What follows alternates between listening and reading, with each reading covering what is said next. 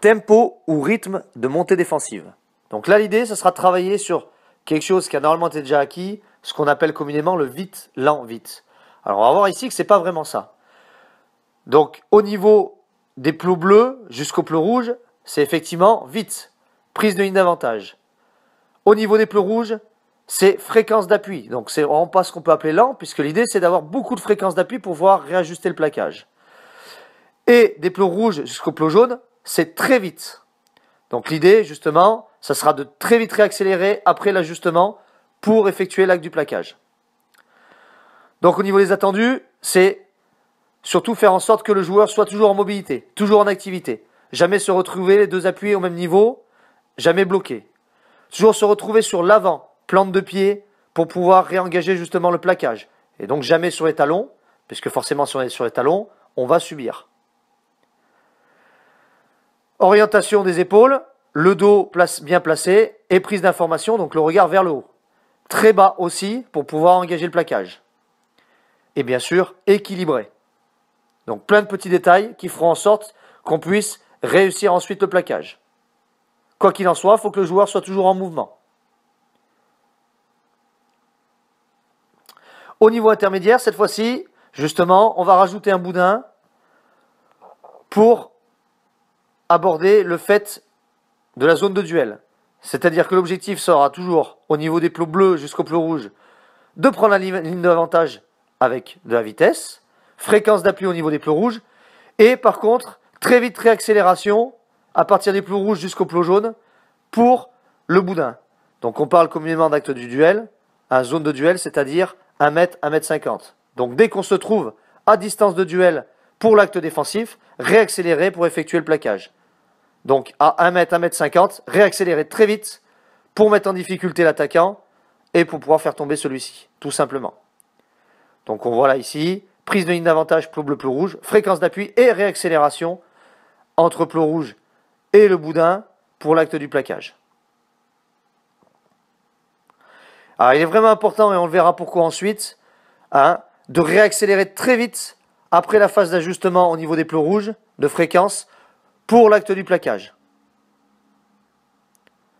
C'est justement là qu'on va le voir. Cette fois-ci, on met le joueur attaquant avec un bouclier. Donc dès que celui-ci engage sa course, le défenseur part.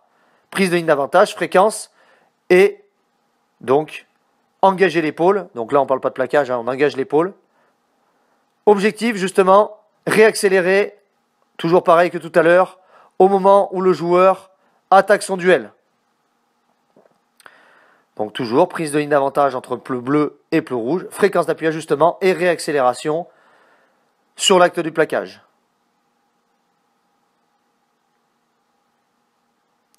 Donc là, pour le bouclier, course droite, rectiligne, on reste dans le couloir, pas de travail d'appui pour l'instant.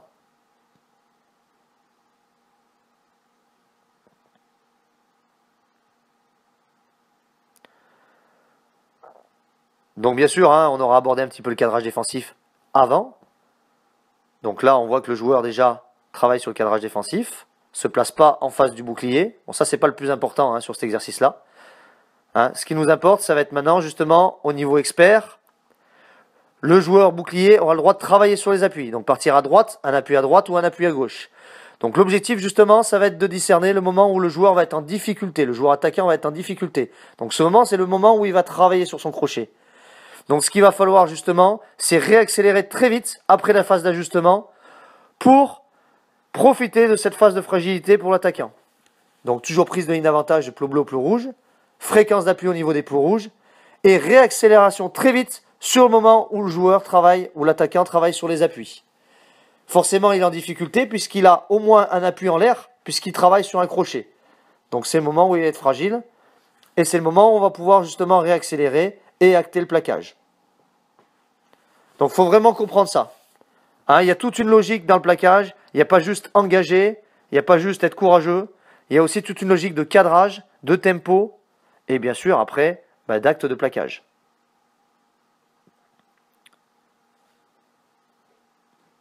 Donc voilà, objectif, réaccélérer très vite le moment où le joueur effectue son crochet. Et donc pour voir si tout ça est acquis, cette fois-ci on met le joueur attaquant en plastron Objectif, toujours pareil, tempo de montée, prise de ligne d'avantage, fréquence d'appui et réaccélération sur le moment où le joueur effectue son crochet.